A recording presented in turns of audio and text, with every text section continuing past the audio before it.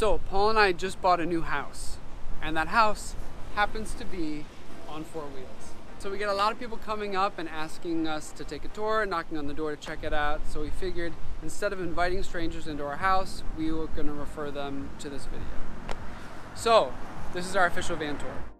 We have a 2020 uh, Travato 59KL and we happen to have the National Park Foundation edition, which just means it comes with a couple of cool extra features. Let's start with the front. We have the Goodrich all-terrain tires, which are a special feature of the National Park Foundation edition.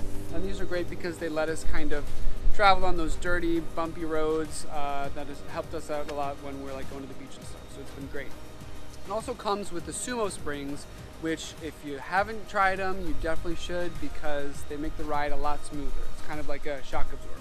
The van itself is 21 feet which has been great because it pretty much fits in a standard parking spot, which means that we can drive into major cities or towns, parallel park, and binge eat our favorite vegan food, right babe? Yeah, mm -hmm. so it's been great. So it comes with the standard hookups you'd see in an RV, but honestly we hardly use those because we boondock, meaning we don't ever hook up. Have we hooked up once since we got the van? No, we've had it for like two months and we haven't needed to hook up once and I'll tell you why. Just some cool uh, more features of the car. Paul almost got hit by a car so we are not going to show you that side of the van but I'll let you know we have all of the hookups you would find in a typical RV, water, electric, um, which actually we don't really use because we boondock most of the time, meaning we don't ever hook up into city water line or electric, and we can do that because of the sweet features of the coat. We also have the uh, black tank, which is where all of the poop and pee goes, and the gray tank, which is where all of the water from the faucets go, but uh, we subscribe to you know 24 hour gyms so we mostly use those for number twos and number threes don't ask what number threes are. All right, so more features. Um, have a nice ledge where we can hook up the pooch here on our little hook. We decided to go with the glass sliding windows because they're nice and tinted so I can get changed without getting arrested. Uh, the acrylic windows, they're clear and they pop out. We didn't like them so much because they scratch easily. And with these, you can still drive and someone can uh, lay in the back with the windows open, which I don't do, Mom, I promise. Let's see, uh, comes with outdoor speakers in case you want to have a dance party. We have a bike rack on the back. We'd like to kind of just park and explore all the areas that we are checking out. So this is really nice to have. We have a ladder in case you're vertically challenged like my husband and you want to feel taller than everyone around you. and up on the roof we have uh, some uh, solar panels uh, which really they don't make too big of a difference because we have a huge uh, lithium battery pack so the solar is really just a drop in, you know, a huge lake of unlimited power, which we'll get to in a little bit. And we also have an AC unit uh, that's pretty efficient up there as well. Some nice decals, um, a hookup for an extra solar panel that again came with the National Park Foundation edition. And we have a pretty cool awning here. It's really cool when it comes out. It's got uh, lighting and everything. So let's check out her insides. So it comes with a roll left screen, which has been great. Uh, older versions of the van came with that slide out screen, which can get caught uh, on the door and it tears pretty easily. This is really nice because it has a magnetic strip on it. So you can come in and out pretty easy. And if you want to roll it up, you just zip it up and it rolls up. Say hey buddy. Stay. Good boy. All right, come on inside. So the Travatos come with two different floor plans. This floor plan is the K model, which means it comes with two separate twin beds, which I like because Paul is a huge blanket stealer. Right, babe? I'm not. I think you are. Guilty as charged. So it's been great because, uh, I don't know, I sleep really well. The beds are comfortable and they have some nice kind of pseudo springs underneath them. So it's actually a pretty comfortable night's rest, I think. Uh, we have a TV here for binge watching Star Wars. Uh, Jensen that has Bluetooth, radio. Again, we have indoor speakers and outdoor speakers. And coming back to the rear, we have these anything keepers, which come with the National Park Foundation edition, which I didn't think I would use that much, but I actually use all the time uh, for phones, keys, shark teeth. So I'm in the bathroom right now. Uh, pretty nice toilet. Um, again, we only use it for number ones mostly because we go to Anytime Fitness, which is a 24-hour gym. You have access to it nationwide, and so we do most of our most of our bathing and our bathroom needs in there. Uh, we have a nice pop-out sink, which honestly we hardly use because it dumps into the black tank, so you'll fill up your black tank faster than you would normally.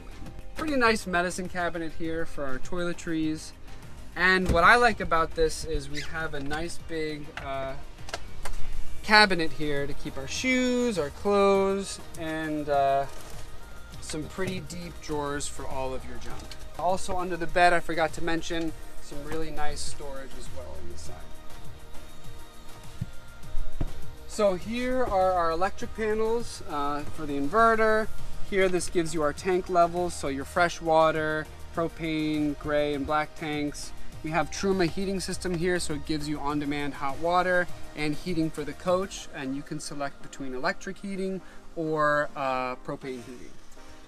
Um, and here we can just choose what voltage we, uh, what amperage we want to use. Um, moving forward, we have our uh, air conditioner here. Again, it's pretty efficient and pretty quiet.